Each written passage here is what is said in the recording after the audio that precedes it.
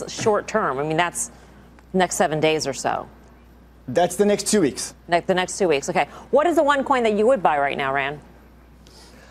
One coin, well, I'm looking at infrastructure and I'm looking at the infrastructure or the blockchain plays, the protocols, and they seem to be. He's an idiot. You should be buying Tron. Just put all your money into Tron. YOLO Tron.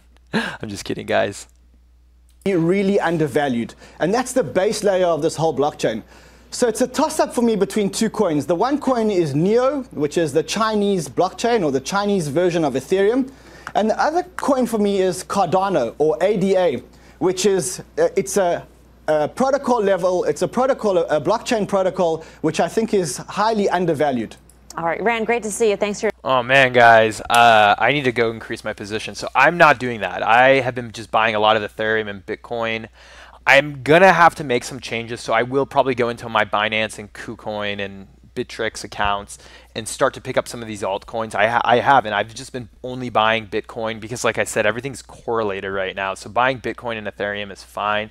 But he does make a good point. If you don't know much about Cardano, you don't know much about Neo. I always have been preaching diversification, so obviously you should own a little bit of both. But at the same time, um, for now, because it's just easier for me to put limit orders on uh, Coinbase and Gemini, I've, I, I haven't made the switch. And to be honest, I actually don't have a balanced portfolio. I'm very heavy on Bitcoin, Ethereum, Bitcoin Cash, and Litecoin. And by the way, Litecoin's getting killed.